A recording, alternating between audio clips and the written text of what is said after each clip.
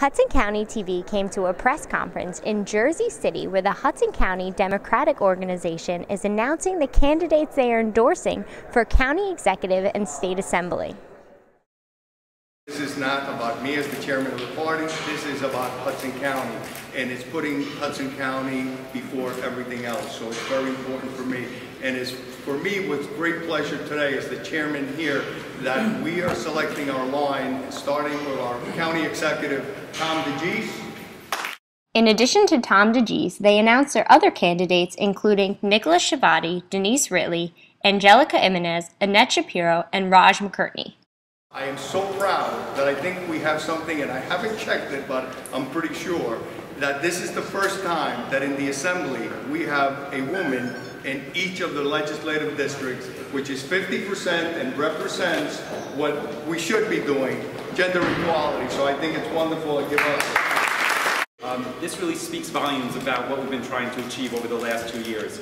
Um, you look at the number of elected officials up here, um, it really shows that Hudson is standing together. You look at the demographics, the age, the backgrounds of all the different elected officials here, and really proud that it looks like New Jersey.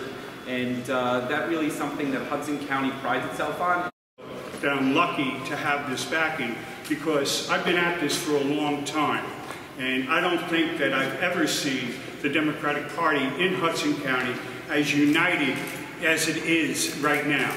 Uh, and that, much of that must go to the, uh, you know, on the shoulders of our leader, our uh, Hudson County Democratic Chairman. Our chairman, uh, Vinnie Prieto, has done a tremendous, tremendous job uniting the county. Um, also, I'd like to give a special thank you to Mayor Fulop and Mayor Sacco for being a major part of bringing our county together. It's a pleasure to run um, and to be a part of Tom DeGise's team here in Hudson County. As a young woman running for the first time, I feel great. Um, I think that this is a great opportunity, and I hope that I'm inspiring other young women to put themselves out there, get out there and run for offices. We need women, we need young women, we need innovative ideas, and I'm just ready. I, this is a privilege. I'm honored to be on the Hudson County Democratic Organization ticket, headed by County Executive Tom DeGise, and uh, running on, uh, on, on, a, on a team that is led by our Senator, in our leader uh, in our legislative delegation, Brian Stack, the mayor of Union City. He puts constituents first. He's a 24/7 legislator and mayor. It's been a privilege working with him and learning from him and the other leaders in our county, uh, Mayor Fulop, Speaker Prieto, and uh, like they said, it's been about unity, and I think that's what this whole ticket represents. Um, Hudson County uh, is incredibly strong and I'm looking forward to running for re-election and seeking the voters' uh, endorsement for a second term.